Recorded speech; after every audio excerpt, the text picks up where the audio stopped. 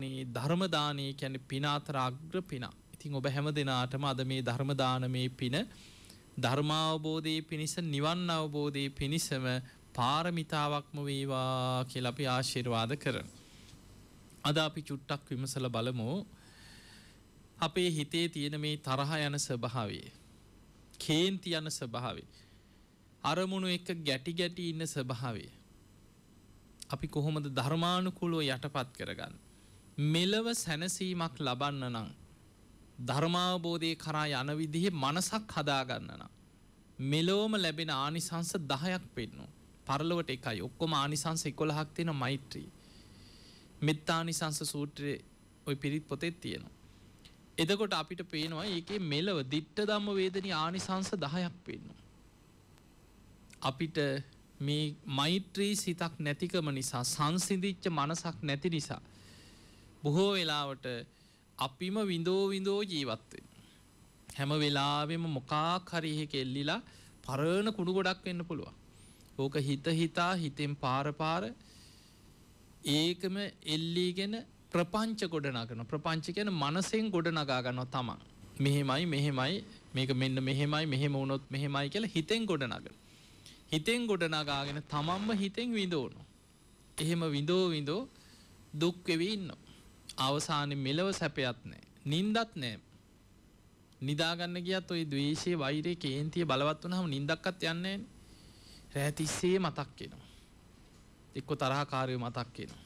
එක්කො ප්‍රශ්න මතක් කෙනවා. මට මෙහෙම වුණා මටමුම් මෙහෙම කරානී කියලා ඉව මතක් කෙනවා. එතකොට බුදුරජාණන් වහන්සේ මේ මෛත්‍රිය පෙන්වේ පුදුමාකාර මෙලව රැකවරණයක් ලබන්න පුළුවන්. චුට්ටක් ඔබට මේ කේන්තිය භයානකම ගැන මේ ළඟදි මහත්තේ කාවා එතුමා අනුරාධපුර පැත්තේ දුප්පත් පන්සලකට ලක්ෂ දහටක් වියදන් කළ ධර්මශාලාවක වහලයක් හදල දුන්නක් ගරා වැටිච්ච ටික හදලා බාගෙට හදල තිබ්බ එක ඊට පස්සේ මට කිව හාමුදුරනේ ලක්ෂ විසි පහක් විසිහයක් වියදන් කරලා අඩි විසි පහක විසිහයක චෛත්‍යයක් හදල පූජ කරා කිය පන්සලකට. දම්බදිව ගිහින් තියෙනවා කිව දෙපාරද්ද තුම් පාරද්ද ආ යන්න හිතාගෙන තමයි කිව ඉන්නේ ඊළඟට කටින පින්කං හයක් කරා කියෝ බනත් අහන දැන් නිකං ඔය ටිකෙන්ම හිතන්න පවකාරයද්ද මේ කටින පින්කං හයක් කරලා දෙතුම් පාර දඹදිව වැඳලා චෛත්‍ය හදලා ධර්මශාලා හදලා හැබැයි කේන්ති ගිය පාර වඳින බුදු පිළිම උසල පොලේ ගහලා තියෙන. ඔන්න හිතේ භයානකම. අය කටින පින්කං කරා බුදුන් ඇඳ දමදිව ගියා කියලා නෑ. කේන්ති ආවහම සමහරුන්ට මැරෙනවා පේන්නේ. කියන්න නැද්ද එහෙම? මතක නෑ ආයි අපාය ගියත් කමක් නෑ කියන. එතකොට එයා අපායටත් කැමති වෙනවා. මේ හිතේ භයානකම හොඳට දකින්න. තරහක් කේන්තියක් වෛරයක් ඇති වුණහම නුවණ කල්පනාව ආදීන ඔක්කොම යටපත් වෙනවා. තමන්ට අනතුර පේන්නේ නැතුව යනවා. එතකොට තී මහත්තයා කියනවා අනේ හාමුදුරනේ මට ඒ වෙලේ මොලේ පෑදුනා කියෝ. එහෙමම ගිහිල්ලා ඊට වැඩිය ලොකු බුදු පිළිමයක් ගෙනහලා එතන තියලා බුදුන් ඇඳලා මල් පූජා කරලා තුනුරුවන් කමා කරගත්තා කියෝ. ඒ වුණාට නිින්ද යන්නේ නැහැ කියෝ. දැන් නිදාගන්න ගිය ගමන් ඒක මතක් වෙනවා. පොතක් කියවන්න ගත්තත් ටීවී එක බැලුවත් බණක් අහන්න පටන් ගත්ත මතක් වෙන්නේ ඒක. බුදුගුණ සිහි කරනකොට මතක් වෙනවා අනේ මම මෙහෙම කරානේ කියලා මතක් වෙනවා.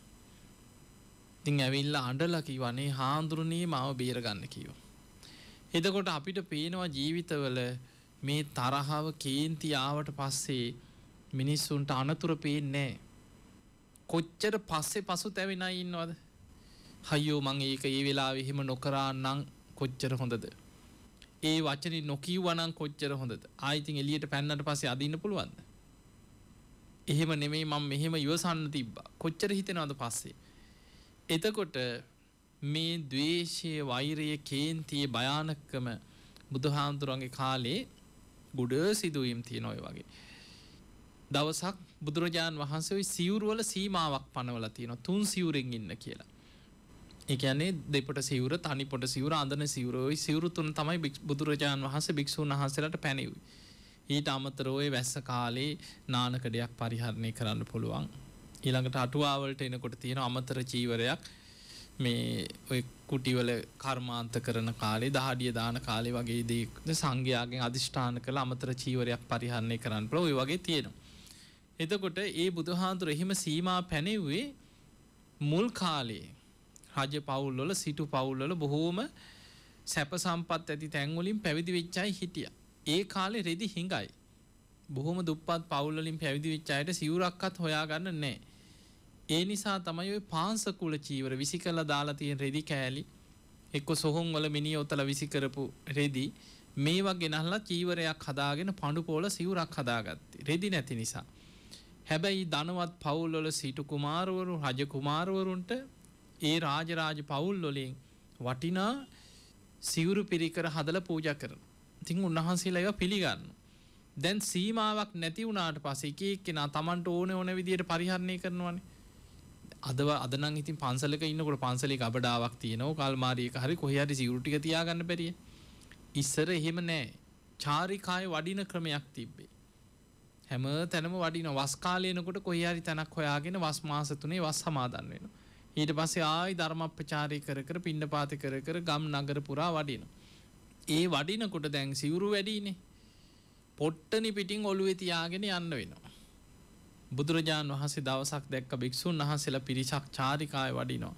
සිවුරු පොට්ටනි ගහල ඔළුවේ තියාගෙන ඇගේ එල්ලගෙන අත් දෙකේ එල්ලගෙන රෙදි නැන්දල වගේ.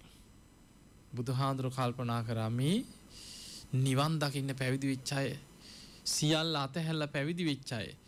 හනේ මේ සිවුරු වැඩි වෙලා සීමාවක් නොදැන සිවුරු පරිහරණය කරන්න කියලානේ මේ භික්‍ෂූන් වහන්සේලට වෙච්ච විපත.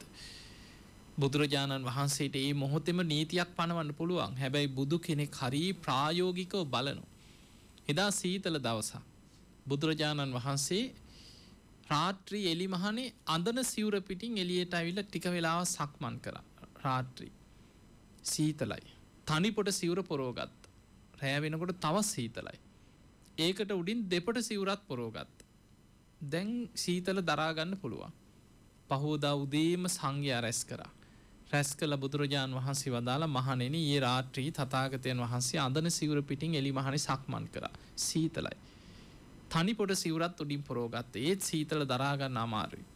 දෙපොට සිවරත් දරාගත්තා. එතකොට සීතල ඉවසන්න පුළුවන් කියෝ. ඒ නිසා අද පටන් මගේ ශාසනයේ පැවිදි වෙන්න නිවන් අවබෝධයට වීරිය වඩන භික්‍ෂූන් වහන්සේලාට තුන් සිවුර පනවනවා කියලා ඔන්න තුන් සිවුරක් එහෙම තමයි බුදු හාන්දුරු විනේ නීතිය පැනව්.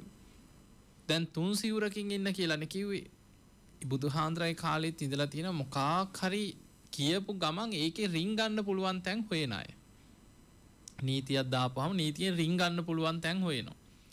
ඒ කාලි හිටිය චබ්බක්ගේ භික්‍ෂූන් වහන්සේලා කියල පිරිසා.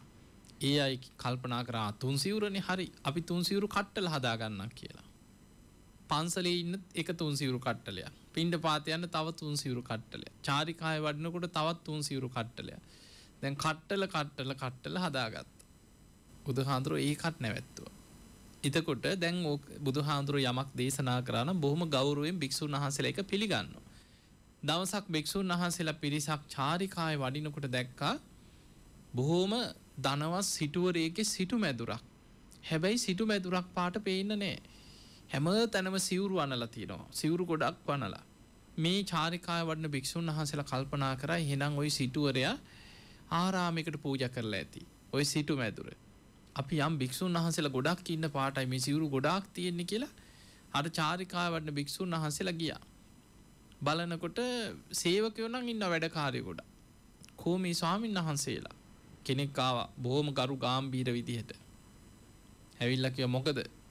මම තමයි කිය මේක වෙන කවුරුත් නෑ කිය ඊට පස්සේ ඇහුව මේ මෙච්චර සිවුරු? ආය ඔක්කොම මගේ තමයි කිය මං උදේට එක සිවුරක් පොරෝනවා කිය දවල්ට එක සිවුරක් පොරෝනවා කිය හවසට මට තව සිවුරක් තියෙනවා කීවා එතකොට මෙච්චර විශාල මන්දිරයක හෝ මේ මගේ ගිහි කාලෙ ගෙදර කීවා මං එක දවසකට එක කාම්බරයක ඉන්නවා කිව ඊට පස්සේ ඒකෝ විකාස් කරනවා. ඊළඟ දවස් මං ඊළඟ කාම්බරේ හර භික්ෂූන් වහන්සේලා කල්පනා කරා මේ නම් ටිකක් මොලේ නරක් වේගෙන යන කෙනෙක් පාටයි. මේ බුදුරජාණන් වහන්සේ දේශනා කරලා තියෙන්නේ මෙහෙමද මේ භික්ෂුවකට ගැලපෙන්නේ නැහැ කියලා අල්ලගත්තා. මෙහෙට එනවා කියලා අල්ලගෙන ඇදගෙන එක්කන් ගියා ජේතවනයේටම ඉක්කරගෙන ආවා. බුදුරජාණන් වහන්සේ දා ධම්සභා මණ්ඩපේ දහම් දෙසනවා. දැන් කට්ටිය වට කරගෙන ඇදගෙන එනවා. හා හා මහණෙනි අතහරින්න කිය ওই භික්ෂුව බුදුරජාණන් වහන්සේ ළඟ දැන් එක්කන් ආවා. බුදුරජාණන් වහන්සේ දැන් භික්ෂු භික්ෂුණී උපාසක උපාසිකා ධම්සභා මණ්ඩපේ බණහන බොහෝ පිරිසක් අතරේ අර භික්ෂුව ඉස්සරහට ආවා. බුදුරජාණන් වහන්සේ හව භික්ෂුව මොකද මේ මහණෙනි මොකද මෙයාව මේ එක්කන් ආවේ කියලා ඇහුවා. එතකොට අනිත් භික්ෂුන් වහන්සේලා කිව්වා ස්වාමීනි භාග්‍යතුන් වහන්සේ අපි චාරිකාවේ වඩිනකොට මේ සිවුරු ගොඩාක් වනලා තිබ්බ මෙන්න මේකයි කතාව මේ ස්වාමීන් වහන්සේ බොහෝ බඩු බාණ්ඩ බහු බාණ්ඩික භික්ෂුවක් කියෝ. බොහෝ සිවුරු පිරිකර පරිහරණය කරනවා කියෝ. බුදු කෙනෙක් කෙනෙකුට යම් වැරැද්දකදි ගරහා කරන එක වචනයක් තියෙනවා. අපි මේ බනින වචන වගේ නෙමේ. බුදු කෙනෙක් ඒ බුදුමුවින් කියවෙන්න එකම වචනය ඒ තමයි මෝගපුරුසය කියලා. මෝගපුරුසය ගැන හිස් මනුස්සයෝ කියලා. මුලයක් තියෙනවනෑ ධර්මීට ලැදි නං එහෙම කරන්න බුදුරජාණන් වහන්සේ අර පිරිසාතරයේ අර භික්ෂුවට කෙනම් මෝග පුරුසය තතාගතයන් වහන්සේ දේශනා කරන්නේද තුන් සිවුරෙන් ඉන්න කියලා. ගැලපෙනවා දැහුව භික්ෂුවකට ශ්‍රමණ සාක්‍ය පුට්‍රයකුට ඔබොයි ජීවත්වෙන ක්‍රමේ කියපු ගමන් කේන්ති කියා. කොච්චර කේන්ති අද කියන්න අර පිරිස මැද්ද ඇඳගෙන ඉන්න සිවුර ගලෝල ගත්ත අතට. අරගෙන බුදු හාන්දුරගේ පැත්තට දමල ගැහුවා. ගහල ඇහුව ඔබහන්සේ මට මෙහෙමද ඉන්න කියන්න කියෝ. කොහොම දේ කාලෙ හිටපය. ඇදගෙන ඉන්න සිවුර ගලෝල බුදු හාන්දුරන් දමල ගැහුව කිපහම්. බුදුරජාණන් වහන්සේ මහා කාරුණිකයි. බුදුරජාණන් වහන්සේ බෝම කරුණාවෙන් ඒ දිහා බලාගෙන ඉඳලා බුදුරජාණන් වහන්සේ වදල මහනෙන මේ භික්ෂුව අද විතරක් නෙමෙයි අතීත සංසාරිත් ඔය වගේම තමයි කියව. එතකොට භික්‍ෂූන් වහන්සේලකින අනේ ස්වාමීනී අතීත කතාව අපිට දේශනා කරන්න කියව. අන්න බුදුරජාණන් වහන්සේ අතීත ජාතක කතාවක් දේශනා කර සංසාරික් කතාව. එතකොට අපිට පේනවා සසර පුරුදු එනවා. ඔය ජාතක පොතේ තියෙන ඒවා මයි වැඩිපුර. එවැනි සිදුවීන් වලදි බුදු හාමුදුරුව පෙන්වා මහනිනි මෙයා අද විතරක් නෙමේ ඒ කාලෙත් ඔහොම තමයි කිය. එතකොට තමයි අතීත කතාව ඒ කාලි කතාව දේශනාවෙන්. ඒක තමයි ජාතක පොතේ එන්නේ. එතකොට ඒ කාලි සසර පුරුදු අදටත් එනවා. ඔය කේන්ති යන ස්වභාවේ වෛර බඳින ස්වභාවේ ගැටෙන ස්වභාවේ ෂනික කෝපි ඔ සංසාර පුරුදු හැටියට එනවා මතක තියාගන්න. ඒවා අපි වීරියෙන් ධර්මය දියුණු කරලා බණභාවනා කළ යටපත් කරගෙන නැත්නං ඒව සංසාර පුරුද්දක් හැටියට එනවා. දැන් අපි ගම් මෙහෙම තරහයන්න ඇදොබට හැමෝටම තරහ යනවා. හැබැයි ඒ ඔක්කොටෝම තරහ ඇතිවෙන් එක විදිහටමද නෑ. අපි ජීවත්වෙන සමාජයේ අපි අතර ඉන්නවා සමහරයි බුදුහාන්දුර උපමා තුනක් පෙන්නවා. ඒව සංසාර පුරුදු එක වෙනස්වෙන්. එක පිරිසක් ඉන්නවා තරහ යනවා හැබැයි දී ඇන්ද ඉරක් වගේ කියනවා. දිය ඉරක් ඇන්දට පස්සේ ඒක තියෙනවා දවස් ගන ඒ මොහොතෙම මැකෙන. ඒ වගේ සංසාර පුරුදුම් පෙර සසරි මෛත්‍රිය වඩලා හොඳට හිත දියුණු කරලා දිහාන වඩල අපි දන්නේ නෑ බඹලොව ඉඳං ආපුයි ඉන්න පුළුවන්. ඒ අයට තරහයන ස්භාවය අඩුයි. මොකද හිත ඇතුළේ තියෙනවා කේන්ති යන ස්භාවක තියෙන අනාගාමි වෙනකොට නැතිවෙන්. කාමරාග පටික පටික කියන ගැටෙන ස්භාව. ඒක සංයෝජනයක් හැටියට සම්පූර්ණයෙන් නැතිවෙන්නේ සෝවාන් වෙනකොට නෙමෙයි. සකදාගාමි කෙනාටත් තුනී වෙලා තියෙනවා. අනාගාමි වෙනකොට තමයි සම්පූර්ණයෙන්ම කාමරාග පටික ප්‍රහාණයවෙන්. එතකං අපි අරමුණත් එක ගැටෙන ස්වභාවයන් අපේ හිතේ තියෙනවා. හැබැයි සසර මෛත්‍රිය වඩල පුරුද්දක් තියෙන කෙනා කේන්තියක් ආවත් සැනින් සිහිය පිහිටනවා. හරියට දී ඇන්ද ඉරක් වගේ කියෙන. එයාට තරහගේ ගමන් මතක් කෙනවා අපි මැරිලෑන මිනිස්සු. මං මොකටද මේ කවුරුත් එක්ක වෛර බැඳලා මං අකුසල් පුරෝගන්න. යා කරගන්න දේ යාගෙනයයි. ඊළඟට හිතනම් මනුස්්‍යයන් අතින් කාගින්ද වැරදි නොවෙන්නේ. එහෙම හිතල හිත හදාගන්න ඒ සැනින්. එහෙම හිතල හිත හදාගෙන හිතෙන් ඒ අයින් කරනවා. ඒ මොහොතෙම කේන්ති ඇති වෙනවා හැබැයි ඒ මොහොතෙම හිත ධර්මී පිහිටවාගෙන හිතෙන් ඒ අයින් කරන. බුදුරජාණන් වහන්සේ වදාලා දී ඇන්ද ඉරක් වගේ යාට හිත වඩන්න පහසුයි. ඊළඟට තව පිරිසක් ඉන්නවා වැල්ලේ ඇන්ද ඉරක් වගේ කියන. දැන් වැල්ලක ඉරක් ඇන්දොත් මොකද වෙන්නේ. ඒර දවසක් දෙකක් උපරිම තුනක් තිය. හුළඟකට හරි මැකෙනවා. හැමදාම තියෙන්නේ වැල්ලේ අඳින ඉර. ඒ වගේ සමහරුන්ට කේන්ති ගියාට පස්සේ එක ඒ මොහොතේ සිහිය පිහිටව ගන්න බෑ. හොඳට බලන්න සමහර ස්වභාවය. හිතට මොකක් හරි ප්‍රශ්නයක් කේන්තියක් එපාවීමක් කලකිරීමක් ඇතිවෙන. ඒ ආපු ගමන් ඒ මොහොතයායි කීයටව සිය පිහිටවන්න බෑ. කතා කරන්න හිතෙන්නේ රවාගෙන එහෙම ඉන්නවන්නේ. හැබැයි දවසයි දෙකයි. උපරිම තුනයි. දවස් දෙක තුන යනකොට හිතෙනවා අන්න ආයි මොලි පෑදිනවා ඊට පස්සේ. දවස් දෙකත් තුනක් යනකොට හිතෙනවා මේ වතුර දික ගෙනියන්න ඕන්නේ අපි කවුරුත් මැරලා යන මිනිස්සුනේ. ඕන් ඔය ඕක අමතක කළ මං හොඳට කතා බහ කරලා ඉන්නවා. අන්න හිතෙනවා.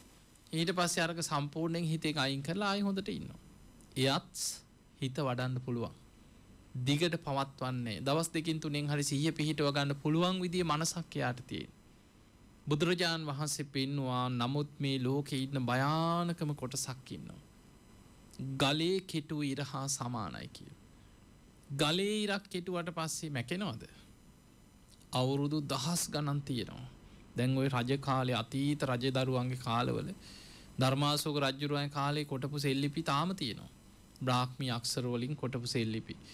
ඒ ඒ පැරණි කාලවල අපි ඒවා පරීක්ෂණ කර කරමේ අවුරුදු දහස් ගනම් පරණයකක මිනිස්සු අපයනවා. එතකොට ඒ වගේ සමහරයි ඉන්නවා පුංචි දෙයක් ආය ඒක හිතලා හිතලා හිතලා කරුණු එකතු කර කරා ඒක හිතනවා. මැරෙන්න වැටෙන කම්ම ඒකෙම එල්ලිලා ඉඳලා මැරෙනකොට අතහරින්නේ. මං මැරිලා හරි ඕකගෙන් පලිගන්නවා කියාගෙන් මැරෙනයි නැද්ද. එයා ඒ වෛරි අරගෙන යනවා ඊළඟ ආත්මට.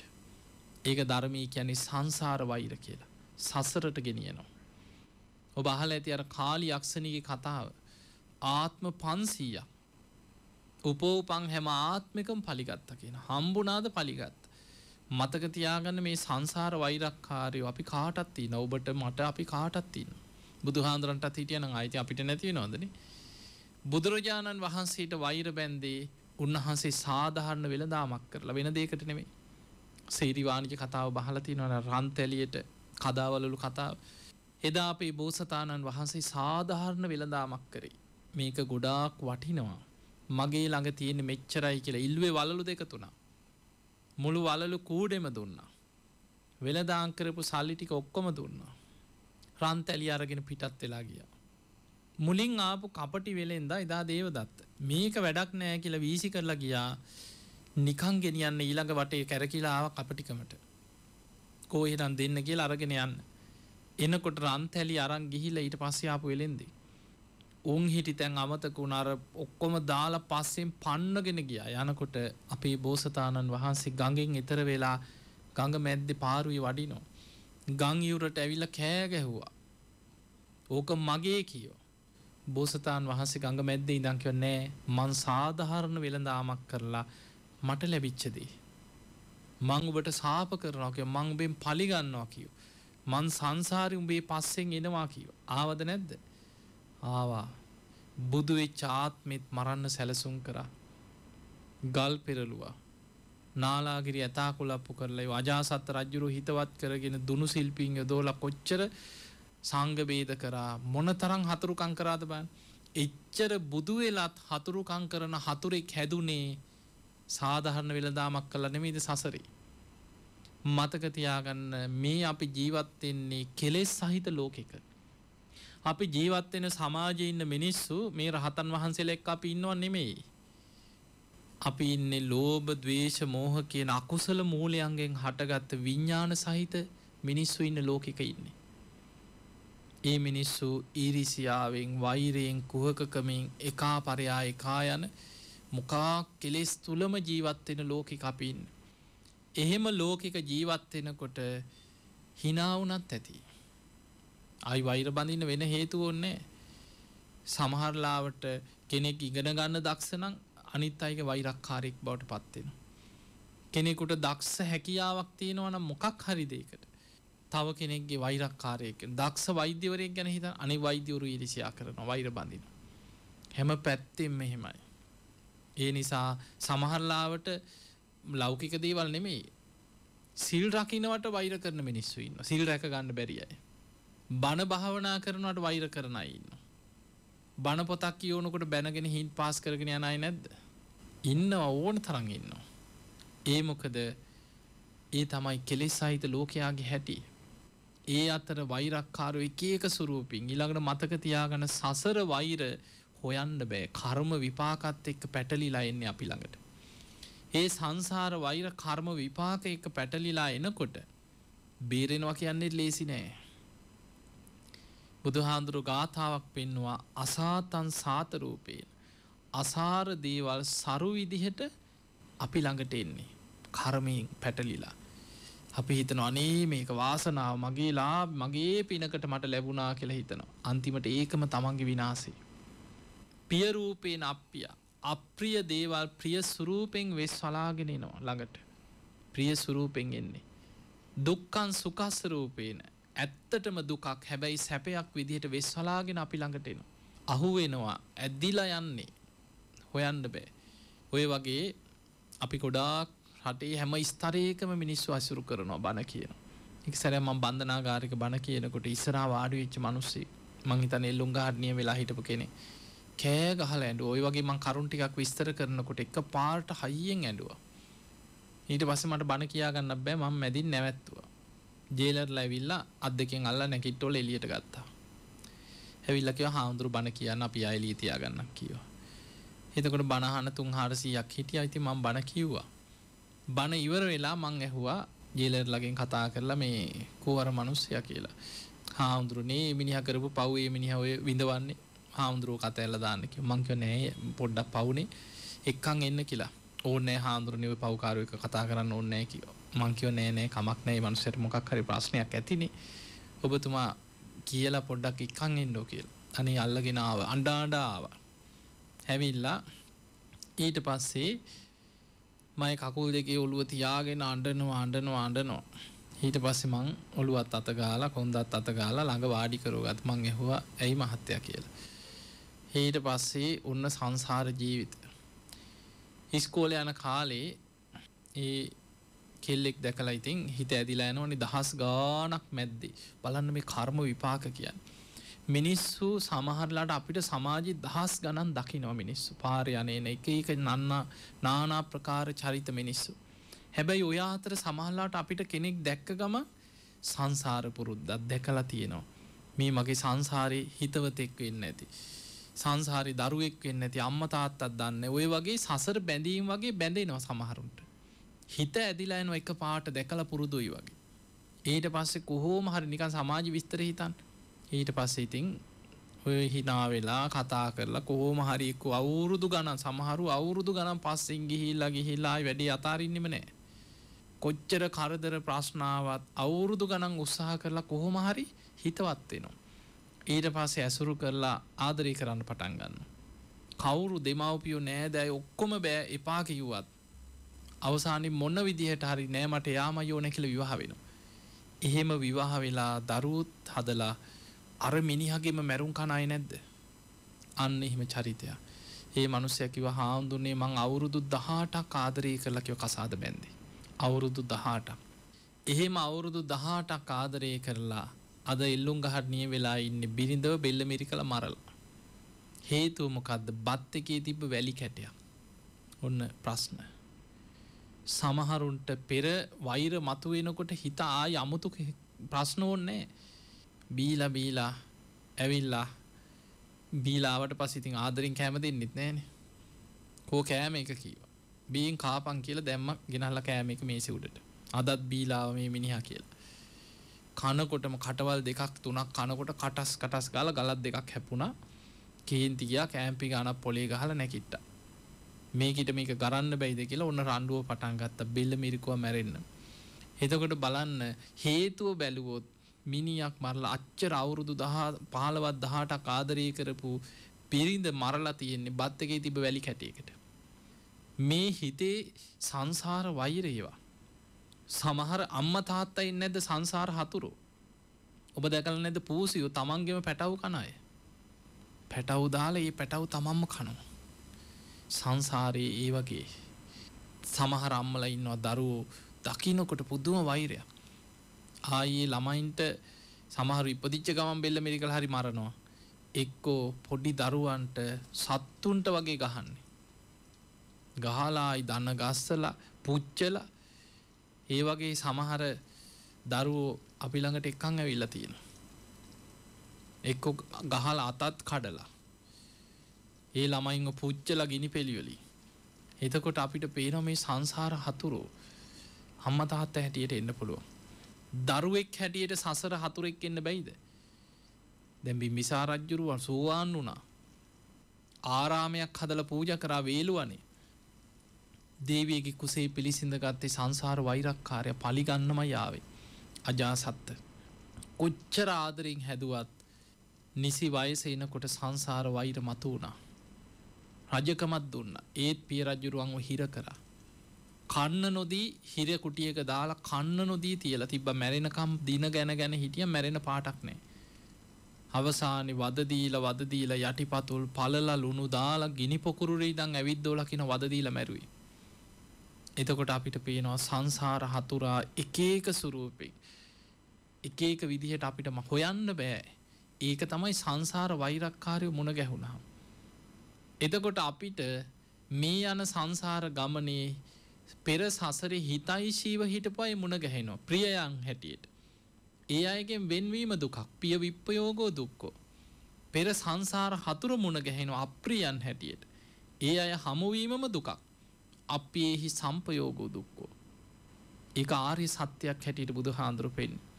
පිය විප්පයෝගෝ දුක්කෝ ප්‍රියන්ගේ මෙන්වීම දුකක් අප්‍රිය පුද්ගලයන් තරහකාරයෝ හතුරෝ ඉරිසියාකාරයෝ මුණ ගැහීමම සසරි දුකක්. මුණ ගැහෙනවායි. සසර ඉන්න තාක්කල් හම්බෙනු. ඒ සංසාර හතුරු සමහරලාට බස්ස එක හම්බෙන්න්න පුළුවන් සසර හතුරා. කකුල පෑගුණත් ඇති මරාගන්න එන්න ඊට පස්සේ. පාර යනකොට හිනාවනත් ඇති ඇඟටෙන්. එක එක සුරූපෙන් හොයන්ඩ බෑ කොතනද කොයි මොහොතෙද තමන්ගේයන් අනුන්ගේ රණ්ඩු බේරන්න ගිහිල්ලා අන්තිමට වැරදිකාරය වෙලා ජීවිතේම අමාරු වැටන මිනිස්සු නැද්ද. අනුන්ට උදව් කරන්න ගිල් අමාරු වැටෙනයින්. එතකොට ඔය වගේ ජීවිතයේ හිතන්න ඒ නිසා අපේ හිත තරහ යන හිතක්. අරමුණේ ගැටෙන හිතක්. ඒක ගැටි ගැටි ගැටි ගැටි දිගටම තුවාල පාර පාර ඉන්න වගේ හිත ඒකෙම ඇලීගෙන යන වෛරේම හිත පවතින හිතක් නං. අපිට ධර්මය කරා යන්න ගොඩක් අමාරුවෙනවා. ඒ නිසා පිංහතුනේ මොකද ගොච්චර පින්කර සමහරු ඉන්නවා මරණ මංචකේ වෛරය බලවත් එච්චකමං ඉවරයි. පින යටපත් කරගෙන අකුසලේ මතු වෙන. ඒකට ධර්මය කැන කුසල් මැඩල නකුසල් කියල. දැන් ධර්මාසෝක රජ්ජරුවන්ටුනි ආය වෙන කාටවත් ඕන්නේ. හසු හාරදාහක් විහිර විහාර හදලා තමන්ගේ පුතා දුව මුණපුර ඔක්කොම් පැවිදි වෙලා රහතන් වහන්සේලා. දහස් ගනන් සංඝය ඇසුරු කරා දාහ ක්‍රහතන් වහන්සේලා එකතු කරලා ධර්ම සංගායනා කරා. ලෝකෙට ධර්මය ව්‍යාප්ත කරා. හැබැයි තමන් සෝවාන්වත් වෙලා හිටිය නෑ. තමන්ගේ රජකං කරනකොට කේන්ති යන ස්භාවේ රටවල් පාලනය කරනකොට තීරණ ගන්නවා. ඒ දැඩි ගතිය හිතේ තිබුණ යටපත් වෙලා. ධර්මාශෝක වනාට අර චණ්ඩාසෝක හැටියට කලින් තිබ්බ ලක්ෂණ හිත ඇතුළ නැතුව නෙමෙයි. මරණ මංචකේ පවන් සලන කෙනාගේ අතින් වටාත්ත වැදුන කිනො රිදෙන්. ඒ මනුස්සය පවන් සැලුවේ මේ කඩුවකින්ද. වටාත්ත ඒ කාලේ පවන් සලප එක මොකක් හරි වැරදීමකින් රිදෙන්න වැදුනා. දැම් මට මේ උදව්වටන අනේ වැරදීමක්න කියන එක නෙමේ හිතටාව කේන්තිය. ඒ කේන්තියත් එක්ක වෛර බැන්දා පුපුරනෝ කරපු පින් ඔක්කොම යටපත් වෙලා මරණ මංචක ආසන්න කර්මයක් හැටියට අකුසලේ බලවත් වෙලා දින කීපයක් හරි දුගතියකට වැටෙන. එතකොට අපිට පේනවා කේන්තිය තරහයන ස්වභාවේ ගැටෙන ස්වභාව හරි භයානකයි. ඒ නිසා තමන් තමන්ගේ හිතදිහා බලන් බලලා ධර්මය දියුණු කරගන්න ලොකු උත්සාහයක් වීරයක් ගන්න මෛත්‍රිය වඩන් දවේශයට ප්‍රතිවිරුද්ධව තියෙන එක තමයි මෛත්‍රිය දේශයට ප්‍රතිවිරුද්ධදේ මෛත්‍ර බුදුහාන්දුර පෙන්නම් මෙත්තා භාවේ තබ්බා ව්‍යාපාදස්ස පහනයි. මෛත්‍රිය වඩන්න වඩන්න හිතේ ව්‍යාපාද යටපත්වෙන. තරහ යන ස්භාවි ප්‍රහණය වෙලා යන ගැටෙන ස්භාවි ප්‍රහණය වෙන. එක උපමාවක් පෙන්න්නනවා ගින්දරකට කුකුල් පිහාට්ටක් ඇල්ලුව වගේ. අපිකම ගිනි ගොඩකට කුකුල් පිහාට්ටල් ලංකරොත් මොකද වෙන්නේ. උුණු වෙලා ඇකිලෙනවා. ඒ වගේ තමයි කියෙන මෛත්‍රිය වඩන්න වඩන්න දවේශ හිත තමන් තුළ ඇකිලිලාම යනොකින්. අර තරහ යන ස්වභාවේ තමන් තුළ යටපත් වෙලා ඇකිලිලා යනවා කිය. ඒ නිසා මෛත්‍රිය වඩන්න කිය. අපි චුට්ටක් බලමු මෛත්‍රිය ගැන. මෛත්‍රී භාවනාව වඩන ක්‍රම බුදුහාන්දුරුව පෙන්න්නනවා මෙහෙම. ක්‍රම දෙකක් පෙන්ලා තියෙනවා සූට්‍ර පිටක මූලිකම් වසේ. ඒ තමයි අප්‍රමාණ චේතෝ විමුක්තිය. අප්‍රමාණ වසයෙන් ප්‍රමාණ රහිතව මෛත්‍රී වඩන්නකි. ඒ මොන ක්‍රමයට මෛත්‍රී භාවනාව වැඩුවත් පටන්ගන්න කාගෙන්ද. තමන්ගේ අන්න එක මතකතියාග අපි මෛත්‍රී භාවනාව සියලු ලෝකයාටම සූපත්තේවා කියලා හිතුවත් ඉස්සල්ලාම හිතන්නේ මම නිදුක්කෙම්වා මම නිරෝගිවෙම්වා මම සුවපත්තෙම්වා වෛර නැත්තෙක්වෙම්වා තරහ නැත්තෙක්වෙම්වා ඉරිසියා නැත්තෙක්වෙම්වා දුක්පීඩා නැත්තෙක්වෙම්වා සුවපත්තෙම්වා තමන්ට හොඳට මෛත්‍රී වඩ අත්තානං උපමංකත්වා තමා තමා උපමා කරගෙන තමයි අපි ලෝක සත්‍යයන්ට මෛත්‍රිය පතුරුවන්. එනිසා ඉස්සල්ලා තමන්ට හොඳට මෛත්‍රිය වඩල වඩලා ඊට පස්සේ අප්‍රමාණ චේතෝයි මොක්තිය ගැන ප්‍රමාණ රහිතව දිසා වසයෙන් හිතන. උතුරු දිසාව ඉන්න සියලු සත්‍යයෝ. දැන් ප්‍රමාණයක් නෑ අනන්තයට විහිදෙනවා. උතුරු අනු දිසාව ඉන්න සියලු සත්වයේ දිසාවක් කියන අනන්තයට විහිදිලායන්. නැගෙනහිර දිසාව නැගෙනහිර අනු දිසාව දකුණු දිසාව දකුණු අනු දිසාව බටහිර දිසාව බටහිර අනු දිසාව උඩ දිසාව යට දිසාව. එතකො දැන් දිසා කීයද? දහයක් තියෙන අපි ඒකට කියන දස දිසාවට. කර්ණීමිත සූට්‍ර තියෙනවා උද්දං අදෝච තිරියංච. අපි මෛත්‍රී වඩන උඩ යට හාත් පස කියන දිසාවන්නවලට ඒ සෑම දිසාවක් මරමුණු කරගෙන සත්‍යයන් අපි හිතෙන් බෙදාගෙන වර්ග කරගෙන පා ඇති පා නැති අපා දෙපා සිව්පා බොහෝ පා ඇති අහසේ පොළොවේ ජලයඉන්න ඇසට පෙනෙන නොපෙනෙන හීන ප්‍රනීත ගොරෝසු සියුම් ඔය විදිහට සත්වයන් අපි හිතෙන් හිත හිත ඒ සෑම සත්වයෙක්ම නිදුක්කේවා නිරෝගිවේවා සූපත්තේවා කියක මෛත්‍රී වඩ. එහෙම මෛත්‍රී වඩනකොට අපිට නොදැනීම විශාල පිනක්. හිතේ අර දවේශ හිත යටපත්වෙන විදිිය ප්‍රබල පුුණ්‍ය ශක්තියක් හිතේ බලවත්වෙනවා. ඒක ක්‍රමයයිකට ධර්මය කියන්නේ අප්‍රමාණ චේතෝයි මුක්තිය. මෛත්‍රී වඩන තව ක්‍රමයක් තියෙනවා මහක්ගත චේතෝයි මුක්තිය. මහක් ගතයි කියලා කියන්නේ ප්‍රමාණ වසේ මෛත්‍රී වඩන. එකන ඒ කොහොම කරත් ඉස්සල්ල තමන්ට තමන්ට මෛත්‍රී වරල ප්‍රමාණය. දැ අපි ගම්මතන අපි හිතම. මේ ශාලාව ඇතුළේ ඉන්න මේ ධර්ම දේශනාව පටිගත කරන මේ ශාලාව තුළ ඉන්න සියලු සත්‍යයෝ දැ සීමාවක් නැද්ද? තියෙනවන මේ ශාලාව සීමාව ප්‍රමාණයක් තියෙනවා. ඊළඟට අපි හිතනවා මේ විහාර භූමිය ඉන්න සියලු සත්‍යයෝ තව ටිකක් විශාල කරා. විහාල භූමියටත් සීමාවත් තියෙනවද නැද්ද. ඒකෙත් තියෙනවා ඉඩම හතර කොනා. ඊළඟට අපි හිතනවා මේ නගරයේ ඉන්න සියලු සත්‍යයෝ නගර සීමාවත් තියෙනවා. මේ පලාතිම ඉන්න සියලු සත්‍ය පලාතට මේ බස්නාහිර පලාතර සීමාවන් නැද්ද. තියෙනවා හැම පලාතකටම සීමාවත් තියෙන.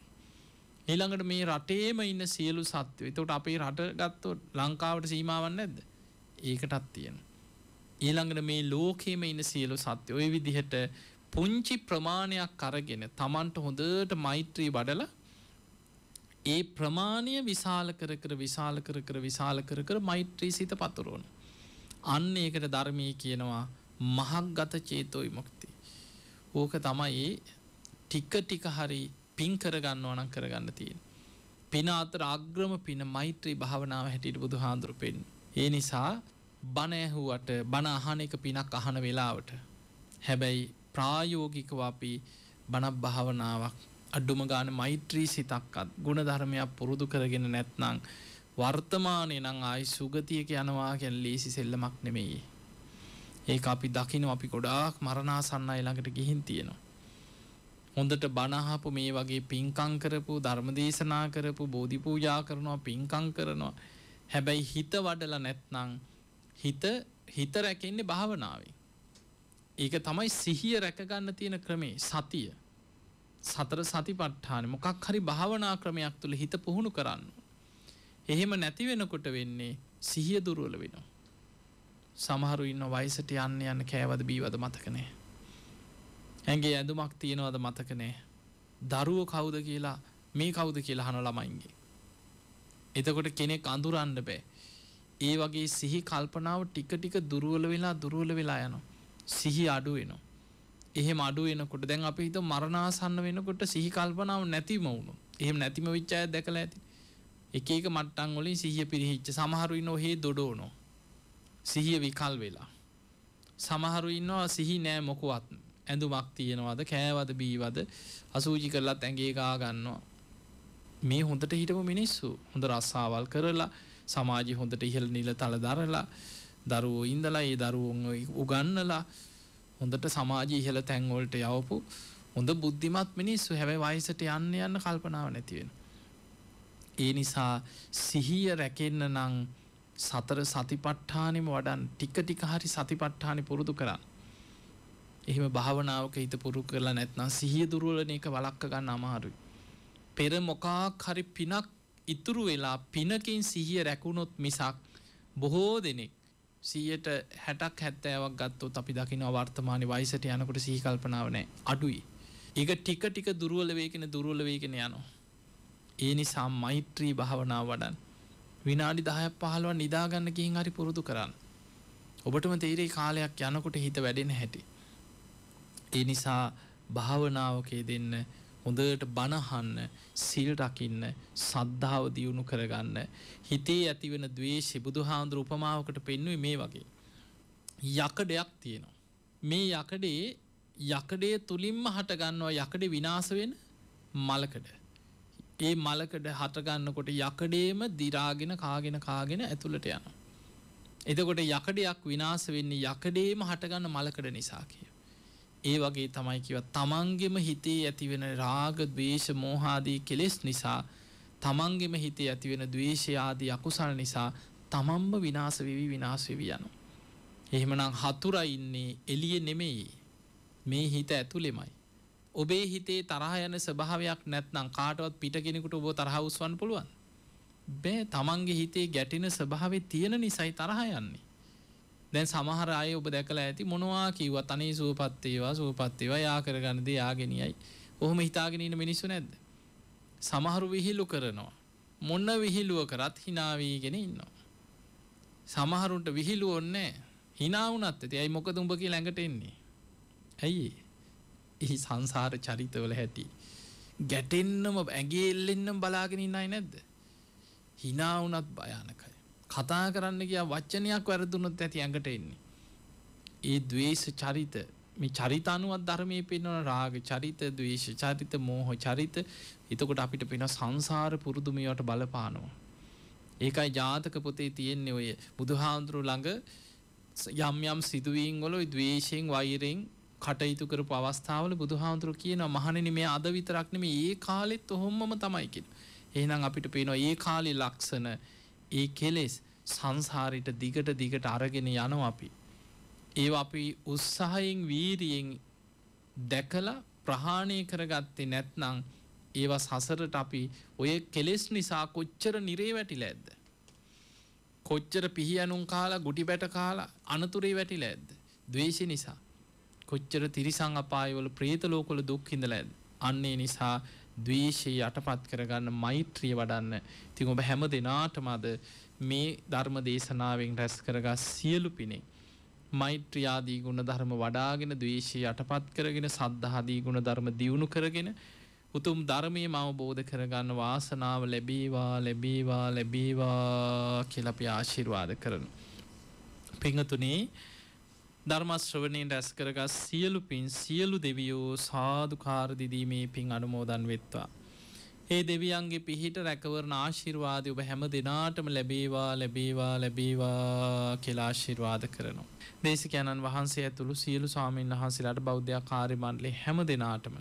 අපවත්වී වදාල් ධර්නාගම කුසල් දමනායක මාහිම්පාණන් වහන්සේත් මේ පින් සාධකාරදිදී අනුමෝදන් වෙත්වා.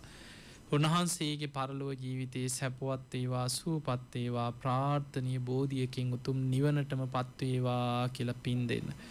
එහෙමනම් ඔබ හැම දිනාමත් නිදුක් වේවා නිරෝගී වේවා සුවපත් වේවා ධර්මාවබෝධයේ පිණිසම මේ පින ඔබ හැම දිනාටම ආශිර්වාදයක් වේවා කියලා ආශිර්වාද කරනවා.